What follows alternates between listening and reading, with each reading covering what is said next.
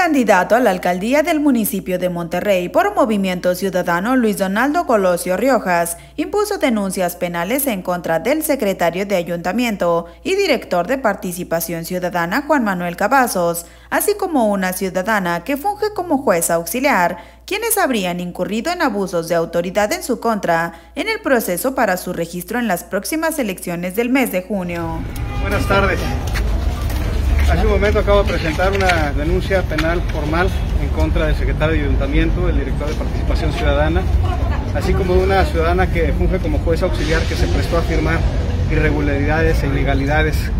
en todo este proceso de viacrucis que ha sido el de manera discriminatoria, completamente dirigida y arbitraria, eh, pues intervenir y sobre todo obstaculizar mis derechos político-electorales, todo con la intención de evitar que me registre como candidato. Entonces, al efecto, se han manifestado una serie de eventos y una serie de conductas que han quedado constatadas en papel, emitidas por la propia, por la propia Secretaría de Ayuntamiento, por la propia Dirección de Participación Ciudadana, en la que se pueden determinar todas estas ilegalidades y pues precisamente derivado de estas ilegalidades en donde se certifican cosas que no han ocurrido aún, se materializan hechos futuros que, se firman como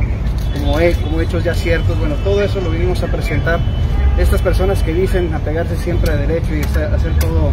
con estricto apego a la ley, bueno, pues ahí ya queda evidenciado que no solamente no lo han hecho, sino que simplemente a, mí me están tratando de una forma completamente distinta a la que tratarían a cualquier otro ciudadano de este municipio, por lo cual hemos venido aquí a presentar esta denuncia.